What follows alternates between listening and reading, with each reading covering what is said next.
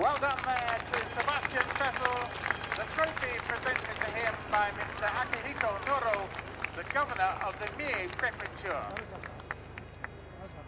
Fantastic race there from Sebastian Vettel and from Red Bull Racing, who are represented as the winning constructor by Guillaume Rocquelin, the Asian engineer looking after the Renault in the uh, Red Bull Racing car. The trophy presented to him by Mr. Ko Toyoda, president of Fuji Television.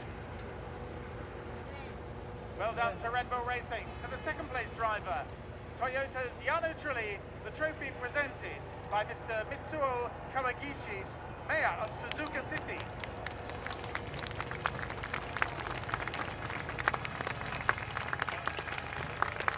And to Lewis Hamilton of McLaren Mercedes, the trophy presented to him by Mr. Tetsuo Tanaka, the president of the Japanese Automobile Federation.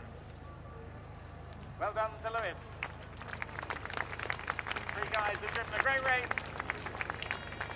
and have the trophies to show for it. And while the podium party leads, we go for the champagne!